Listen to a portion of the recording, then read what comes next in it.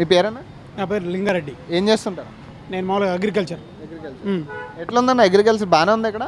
బాగానే అంటే ఒకప్పుడు బంగారు పంటలు పండేవి చాలా అద్భుతమైన ప్రాంతం ఇది. ముఖ్యంగా ఈ ప్రాంతానికి ఏంటంటే కాలుష్య పీడన కంపెనీలు విపరీతం. చుట్టూ చౌటుపల చుట్టుపక్కల. సాయంత్రం అయితే రాత్రి వేళ అయితే అసలు ఉండే పరిస్థితి లేదు. ఇలాంటి మబ్బులు పడ్డప్పుడు విపరీతమైన వాసన ground pollution water pollution soil pollution air pollution total పొల్యూషన్కి వచ్చేసింది. పెద్ద పెద్ద కంపెనీలు ఉన్నాయి. వాస్తవం ఏంటంటే టోటల్ కాలుష్య కూరలో చిక్కపోయిన చౌటుపల్లి చుట్టూ కంపెనీలు ఉన్నాయి. ఒకప్పుడు పంటలు దెబ్బతింటాయి. చాలా అసలు మీరు చుట్టుపక్కల చూస్తే గ్రౌండ్ టోటల్గా పొల్యూషన్ అయిపోయింది. ఎంతో కొంత తప్పితే దాదాపు seventy percent ground pollution air pollution soil pollution మూడు అయిపోయినాయి ఆల్రెడీ అంటే వాటర్ కూడా పొల్యూషన్ బ్రహ్మాండంగా అయింది. ఇప్పుడు మీరు దోతిగూడెం ఇటు ఆరగూడెం కాట్రాకిల్ చూస్తే దివిస్ అనే పెద్ద ఇండియాలోనే పెద్ద పరిశ్రమ ఉంటుంది. టోటల్గా గ్రౌండ్ పొల్యూటెడ్ తంగడిపల్లి ఆరగూడెం చింతలగూడెం వెళ్ళి చూస్తే టోటల్గా పొల్యూషన్ ఇప్పుడు ఆ ఫ్యాక్టరీస్ ఏంటంటే ఏం తయారవుతాయి అక్కడ? అందులో అంటే మెడిసిన్కి సంబంధించింది తయారవుతుంది విదేశాలకు సప్లై ఇక్కడ ఇక్కడ ఇండియాలో మార్కెటింగ్ ఉండదు అది. ఇచ్చింది తెలంగాణ తెలంగాణ గవర్నమెంట్ అప్పుడు చిన్నగా ఉండే ఈ మధ్యలో ఎక్స్టెన్షన్ చాలా పెంచారు కాకినాడలో కట్టవలసిన కంపెనీ అక్కడ ఒక ప్రభుత్వం అనుమతి లేక ఇక టీఆర్ఎస్ ప్రభుత్వం ఆంధ్ర కంపెనీకి అనుమతులు ఇస్తే గతంలో ఉన్నదానికంటే మూడు రెట్ల ఎక్స్పెన్షన్ జరుగుతుంది. ఇప్పుడు రెండు వేల పంతొమ్మిది నుంచి ఇప్పటి వరకు నిరంతరం కన్స్ట్రక్షన్ కొనసాగుతూనే ఉంది. దాని మీద పోరాడే నాయకులు లేడు ఇక్కడ. నేను పోరాడుతున్నా. ఎన్జీటీ పిటిషన్ అని పోరాడినా కూడా ఆయనకి ఏంటంటే రాజకీయ నాయకులు లీడర్లు అంతా సంఖలో ఉంటారు. సామాన్య ప్రజలు తొక్కేస్తాడు. ఎంత పెద్ద అంటే ఇండియాలోనే బిగ్గెస్ట్ కంపెనీ దివిస్ దానివల్ల చాలా పొలి ప్రభావం ఉంది. ఇప్పుడు మొన్న రిజైన్ చేసిన ఎమ్మెల్యే కూడా స్వయాన కలిసి లెటర్ ఇచ్చిన. చాలామంది నాయకులకు చెప్పిన ఏ నాయకుడు దాని విషయానికి వెళ్ళాడు పట్టించుకోడు. ఇంకోటి ఏంటంటే ఇప్పుడున్న టీఆర్ఎస్ పార్టీ అండదండలు పుష్కలంగా ఉన్నాయి దానికి. టీఆర్ఎస్ గవర్నమెంట్ అండదండలు ఉన్నాయి కాబట్టి అది. ఆ కాకినాడ ఆంధ్ర వాళ్ళ కంపెనీ అది ఆంధ్ర పర్మి రాని అనుమతులు తెలంగాణలో ఇచ్చారంటే ఏ రేంజ్లో ఉందో చూడండి ఒకసారి. మరి ఇప్పుడు రాజగోపాల్ రెడ్డి గారు మీరు ఆల్రెడీ దాని దానికి సంబంధించిన ఏదైతే విన్నత పత్రం ఇచ్చానని చెప్తున్నారు కదా మరి ఆయన ఏమన్నారు? రెండు వేల పంతొమ్మిదిలో ఇచ్చినప్పుడు ఇవ్వలే ఏ రోజు కూడా దాని మీద స్పందించలే మాట్లాడలే చేయలే. రాజగోపాల్ రెడ్డి కిషన్ రెడ్డికి ఇచ్చిన ఎమ్మెల్సీ కన్నప్రభాకర్కి ఇచ్చిన రేవంత్ రెడ్డికి ఇచ్చిన ఎంపీకి ఇచ్చిన జెడ్పీ ఆ వార్డు నెంబర్తో సహా ఎవరిని వదిలిపెట్టలే. ఏ నాయకుడు పట్టించుకున్న దాఖలాలు లేవు. కానీ ఏంటంటే పైకి వచ్చి ఈ సమస్యల గురించి లేకపోతే పార్టీ పార్టీ ఏం చెప్పినా కూడా టీఆర్ఎస్ పార్టీ అండదండలు పుష్కలంగా ఉన్నాయి. దాని గురించి ఏ నాయకుడు పట్టించుకోడు. ఈ ప్రాంత ప్రజల్ని కాపాడే ప్రయత్నం ఈ ప్రాంతాన్ని కాలుష్యం నుంచి కాపాడే నాయకుడు ఎవ్వరూ లేరు. అంటే మరి పంటల విషయంలో ఎట్లా ఉంది ఇప్పుడు? అంటే పంట నష్టాలు గట్టిగానే అంటే ఉంటాయి గ్రౌండ్ ఆ వాటర్ పెట్టి పండిస్తే కొన్ని రెండు మూడు గ్రామాలకు వెళ్తే వాటర్ పెడితే పండదు. వర్ష వర్షాధార పంటలు వేసుకొని పండించుకొని బతుకుతురు. అంతే. అంతే. మరి ఇప్పుడు ఈ రైతు బంధు ఇవన్నీ స్కీమ్లు ఏంటి? ఇవన్నీ వస్తున్నాయి అసలు రైతు బంధులు ఇవన్నీ? అయితే మొన్న గత సంవత్సరం దాకా బాగానే వచ్చినాయి. ఈ సంవత్సరం వెనక ముందు అయితే ఇచ్చారు రైతు బంధు. కొంచెం డిలే. వెనక ముందు ఇచ్చారు. అది టైంకి అయితే ఇవ్వలేదు ఫింక్షన్లు అవి ఎట్లా ఉన్నాయి ఇక్కడ ఫింక్షన్లు శిక్షణలు కూడా టైంకి అయితే ఇవ్వట్లేదు. వెనక ముందు అవుతున్నాయి. ఒక క్రమశిక్షణగా ఈ డేట్లు అనేది లేదు అడ్డగోలుగా పెంచారు కానీ టైంకి ఇవ్వట్లే. ఈ ఇంకొకటి ఏంటంటే ఇక్కడ డ్రైనేజ్ సమస్య కూడా గట్టిగా ఉందని విన్నాను డ్రైనేజ్ సమస్య ఇక్కడ ఇప్పటికీ ఉందా ఇంకా? అంటే ఒకప్పుడు ఇది మున్సిపాలిటీ అయింది. మున్సిపాలిటీ కన్నా గ్రామ పంచాయతీ ఉన్నప్పుడే మంచి పనులైనా మంచి అభివృద్ధి జరిగింది. మున్సిపాలిటీ అయిపోయినాక అభివృద్ధి అనేది శూన్యం అసలు. ఏం కనిపి మీకు చూస్తే ఎక్కడ చూసినా సీసీ రోడ్లునే మట్టి రోడ్లునే అర్థం కాని పరిస్థితి. అభివృద్ధి అనేది అసలు శూన్యం. గ్రామ పంచాయతీ ఉన్నప్పుడన్నా వార్డులో కొట్లాడి తెచ్చుకొని దగ్గరగా ఉండేది కాబట్టి అయ్యేది. ఇప్పుడు మున్సిపాలిటీ చుట్టుపక్కల నాలుగైదు గ్రామాలు కలిపి చేసారు ఏ ఊర్లో ఏం లేదు అంత శూన్యం.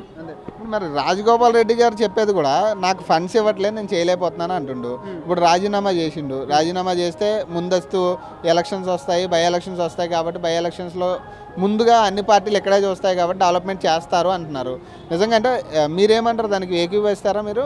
రాజగోపాల్ రెడ్డి గారి రాజగోపాల్ రెడ్డి చేసింది అభివృద్ధి కోసం చేయలే. ఆయన ఈ రోజు కొత్తగా రాలే ఎలక్షన్లకు. గతంలో ఎంపీకి గెలిచిండు ఎమ్మెల్సీ గెలిచిండు. అలా భార్య కూడా ఎమ్మెల్సీకి ఇస్తే ఓడిపోయింది.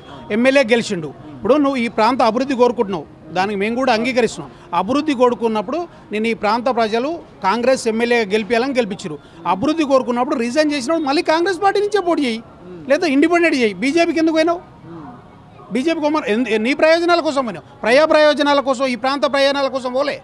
ఇప్పుడు నువ్వు రిజైన్ చేసినావు. ఇప్పుడు టీఆర్ఎస్ ఉద్యమం నడుస్తుంది. టీఆర్ఎస్లో రిజైన్ చేసిన వాళ్ళు ఎలా పోటీ చేసిరు పక్క పార్టీలో పోయి పోటీ చేయలేదు టీఆర్ఎస్లో పోటీ చేసిరు నిజంగా అయితే ఆయన ఇండిపెండెంట్గా వస్తే నిజంగా ప్రజలు మళ్ళీ ఆయన వెనకాల నిలబడతారా? మేము ఇప్పుడు మేము భుజాల మీద ఎత్తుకొని గెలిపించేటోళ్ళం ఆయనని. పోయినసారి కూడా అంతకుముందు కూసుకుంట్ల ప్రభాకర్ రెడ్డి ఎమ్మెల్యే. పోయినసారి కూడా కూసుకుంట్ల ప్రభాకర్ తగ్గపోరు. విషయం ఏంటంటే నలభై ఏండ్ల కింద నలభై ఐదేళ్ళ కిందనో ఈ ఈ ప్రాంతానికి కొమ్మిడి నరసింహారెడ్డి అని కాంగ్రెస్ ఎమ్మెల్యే ఆయన ఉన్నట అప్పటి నుంచి ఇప్పటివరకు కాంగ్రెస్ ఎమ్మెల్యే లేడు.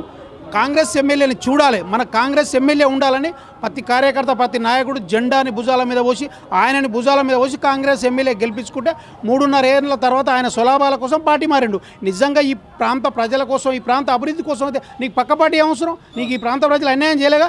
నీ జెండాని మోసిరు నిన్ను భుజాల మీద మోసుకొని టీఆర్ఎస్ ప్రభావం అంత తీవ్రంగా ఉన్న కాంగ్రెస్ ఎమ్మెల్యే గెలిచినవంటే ప్రజలకు నీ మీద ఏమాత్రం అభిమానం ఉందో ఒకసారి ఆలోచించుకుంటే మంచిది. కరెక్ట్ అండి. ఇప్పుడు అదే అభిమానం కంటిన్యూ అవుతుందా? వేరే పార్టీకి వెళ్ళినప్పుడు? లేదు కాదు. వేరే పార్టీకి వెళ్ళాల్సిన అవసరం వచ్చింది. ఎందుకు వచ్చింది? ఎవరి కోసం వెళ్ళావు? నీ కోసం నీ ప్రయోజనాల కోసం వెళ్ళావు. ఈ ప్రాంతం కోసం వెళ్ళలే. నిజంగా ఈ ప్రాంతం మీద చిత్తశుద్ధి ఈ ప్రాంతం మీద అభిమానం ఉంటే మళ్ళీ కాంగ్రెస్ నుంచే పోటీ చేసేది ఉంటే రిజైన్ చేసి ఇండిపెండెంట్గా చేసి ఉంటే బీజేపీ తరపున ఇలా పాల మీద జిఎస్ వడ్ల వడ్- అది బియ్యం మీద జిఎస్ ప్రతి ఐటెం మీద జిఎస్ ఆరు నాలుగు వందలు ఉన్న గ్యాస్ ఆరు వందలు అయింది యాభై రూపాయల పెట్రోల్ వంద రూపాయలు అయింది నలభై రూపాయల డీజిల్ ఎనభై రూపాయలు అయింది అంటే ఇది ఇది అభివృద్ధి దాన్ని చూసిపోయినావు. నువ్వు బీజేపీలకు? ఇలా సామాన్యుడు బతికే పరిస్థితి ఉందా?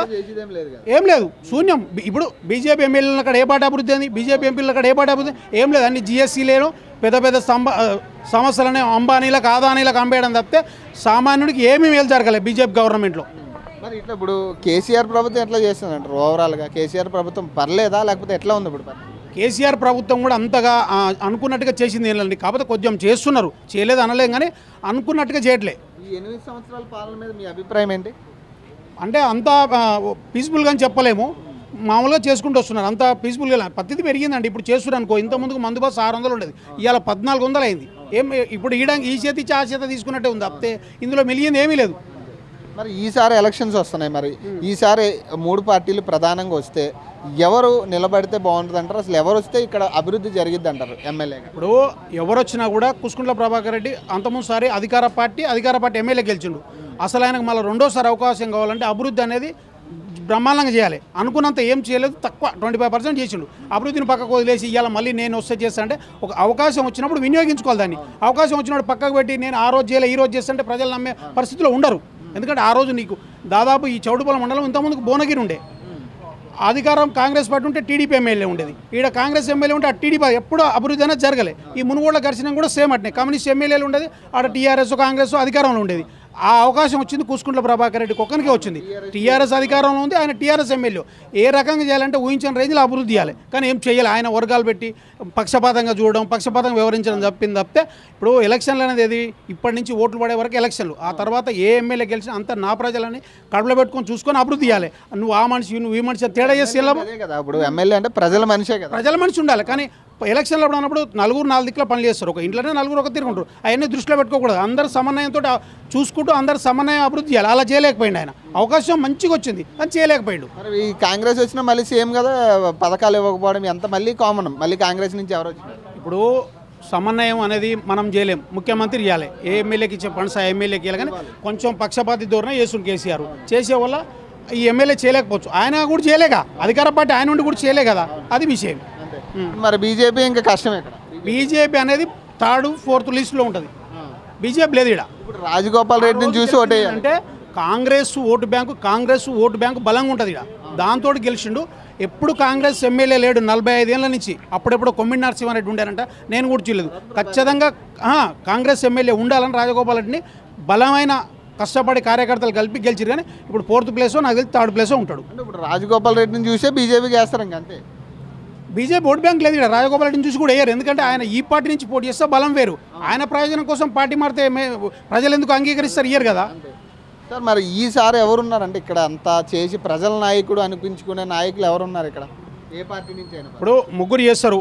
ఇప్పుడు అందరు చేసిన వాళ్ళు అందరూ అయితే గెలవరుగా. ఒకరు గెలుస్తారు. ఏది ఉన్నా టీఆర్ఎస్ కాంగ్రెస్ మధ్యలో ఉంటుంది పోటీ.